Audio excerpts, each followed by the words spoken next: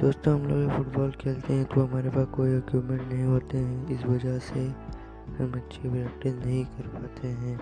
लेकिन मैं आपको आज इस वीडियो में कुछ ऐसे इक्विपमेंट के बारे में बताने वाला हूँ, जिससे आप बिगिनर से प्रोफेशनल में हो जाओगे। जो मैंने इस वीडियो में। साथ ही साथ बताते चलूँ कि मैंने हज़ार सब्सक्राइबर पर कीवे रखा है मैसी ब्लैक फुटबॉल।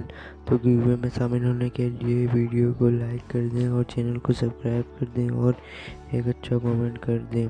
तो चलिए वीडियो स्टार्ट करते हैं। तो नंबर वन पर जो हमारा पहला इक्विपमेंट है वो है शॉर्ट कॉन जिस पर बॉल रख के शॉट मारी जाती है। नंबर टू पे जो हमारा इक्विपमेंट है वो है नंबर टू पे आती है कौन? कौन से हम ड्रिबलिंग करते हैं? ड्रिबलिंग से बॉल कंट्रोल अच्छा बनता है।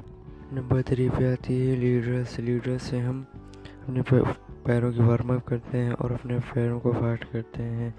वैसे तो और कई भी इक्विपमेंट थे, लेकिन जो मैन होती हैं, वह मैंने आपको बता दिया और आपको ये फ्लिपकार्ट में पड़ जाएँगे। चार सौ बीस रुपये के अगर आपके पास इसे ख़रीदने के पैसे नहीं हैं तो मैं एक वीडियो बनाऊँगा बहुत जल्द। उसमें मैं बताने वाला हूँ कि ये घर पर कैसे बनाएँ तो प्लीज़ चैनल को सब्सक्राइब कर दें और वीडियो अच्छा लगा तो प्लीज़ लाइक कर दें बेल आइकन को प्रेस करना ना भूलें।